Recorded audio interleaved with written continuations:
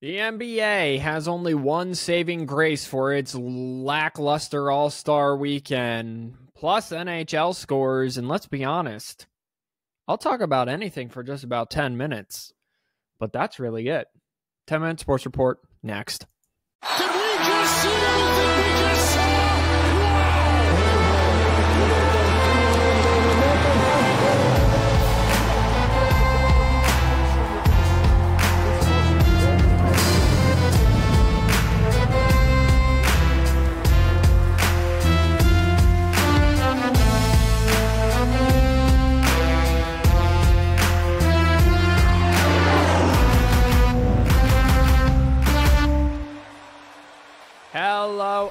Welcome, everyone. It is your 10 minute sports report. I am your host, Captain Boring. Thank you for being with us on this glorious Monday. Comment down below. How was the glorious Monday for you all? Uh, thank you for being here. Don't forget to like and subscribe on YouTube, share on uh, Instagram. I that, that was out of order. Go ahead and follow us on Instagram at Fourth and One Podcast, all words spelled out, Fourth and One Podcast.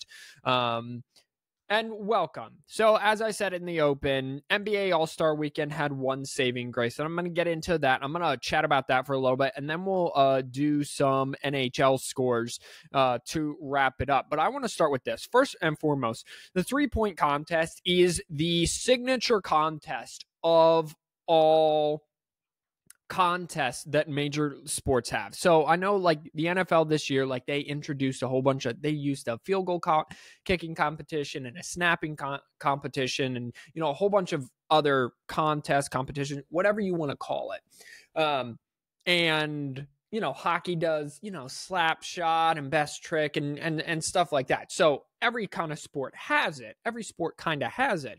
But the three-point contest is the premier creme de la creme, if you will, of all of them. And that was on evident because the best players in the game took place in it. Um, no one scored less than 22 points. And about seven, five to seven years ago, 22 points could have won you the contest, right? 18 was a great score. 22 was a low score. Um, 20, three people tied at 26. Uh, one person had 25. It was amazing. Um, Damian Lillard repeated as three point champion. He finished with 26 in that final round to win. And it was a heck of a showing because, again, it was the best three point makers some superstars, some not superstar, you know, role players, whatever it may be in that contest. And then Steph Curry went out, and Steph Curry used to have the record for most points in a round in a three point contest with 29.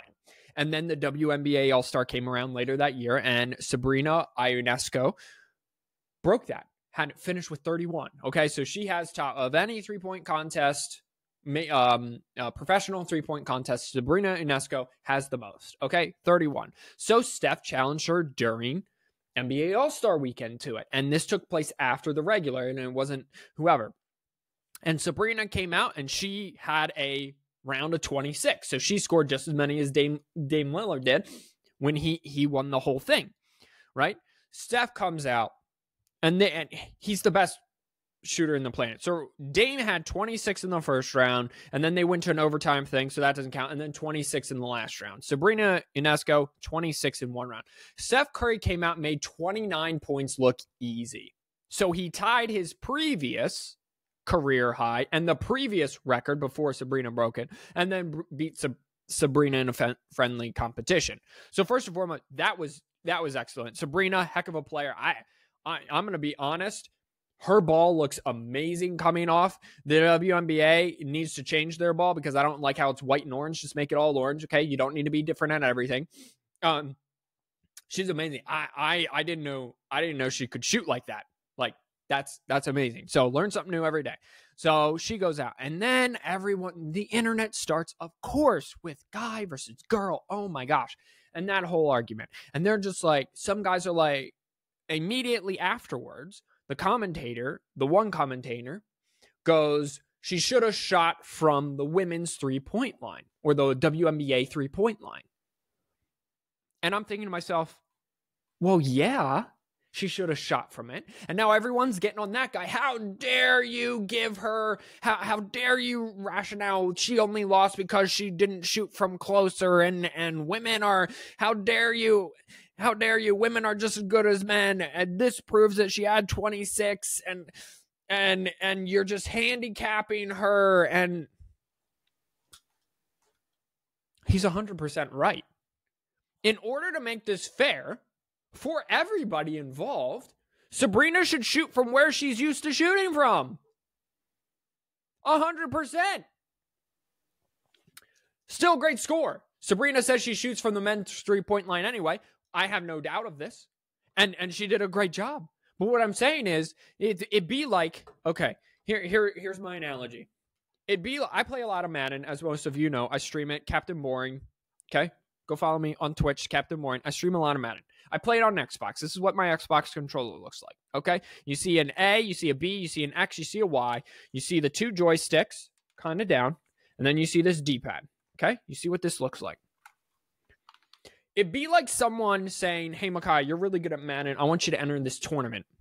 Well, then when I show up with my controller or whatever, and they'll say, No, we'll provide you controllers. So I show up, they hand me a PlayStation controller. Go look up a PlayStation controller. While it's virtually the same, almost identical, these two joysticks here on a PlayStation controller are here and here and next to each other.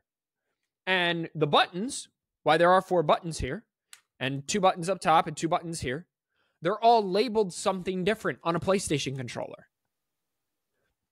So be like if I went out and I lost to the greatest Madden player in the world by by three on a PlayStation, right?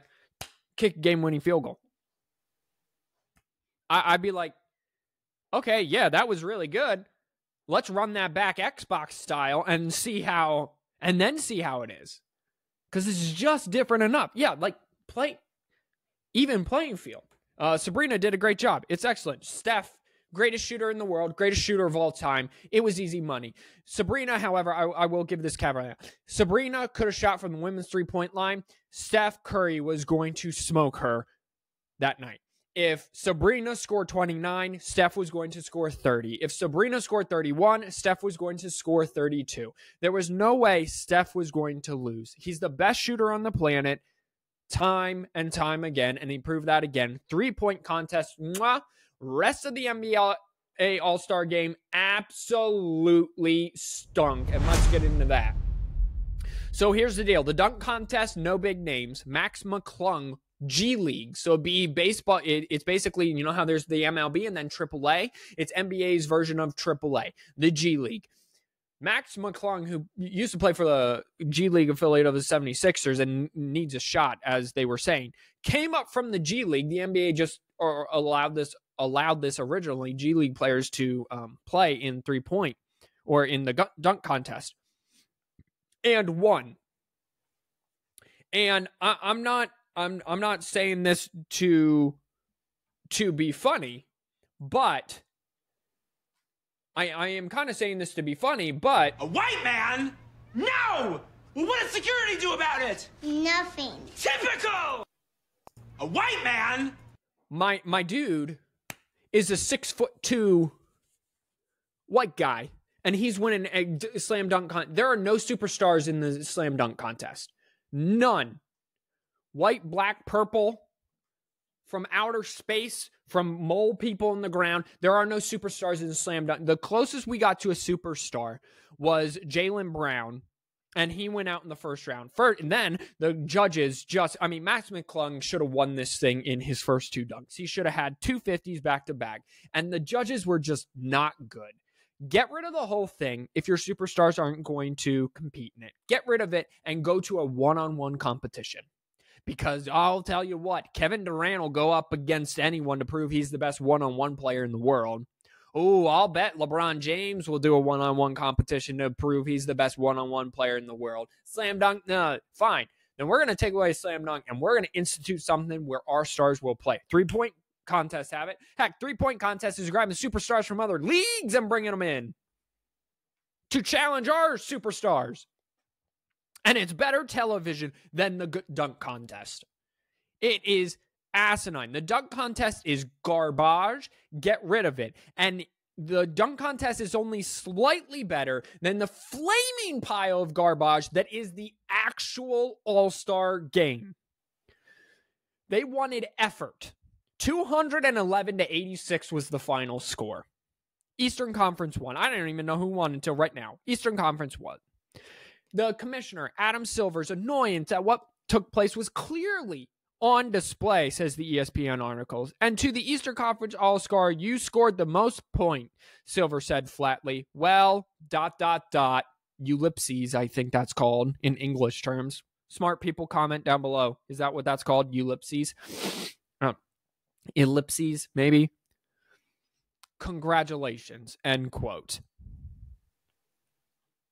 Um, well, Adam Silver, you did this to yourself as soon as it used to be that the it used to be East West All Star winner of the game would have home court advantage.